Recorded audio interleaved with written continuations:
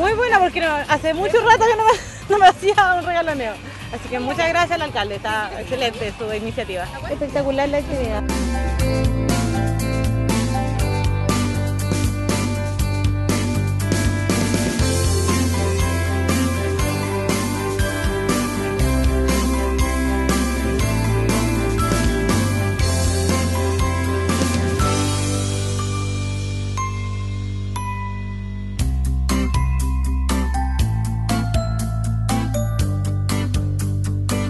Divertida, me, me a un juego tres veces ya.